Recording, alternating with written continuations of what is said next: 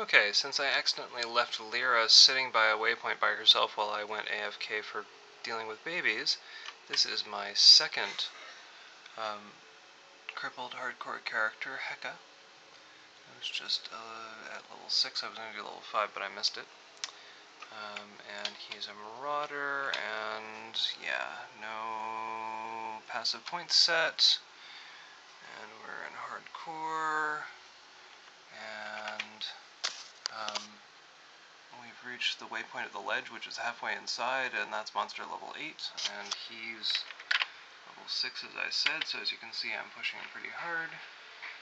Uh, let's see...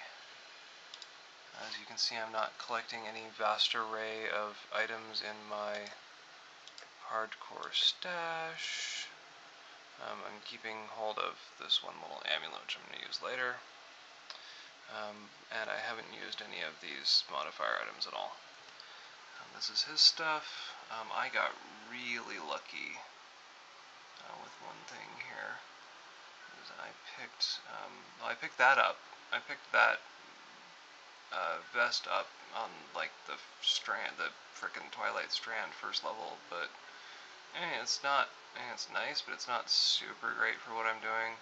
Uh, the one that is holy crap is this, which I picked up on the ledge.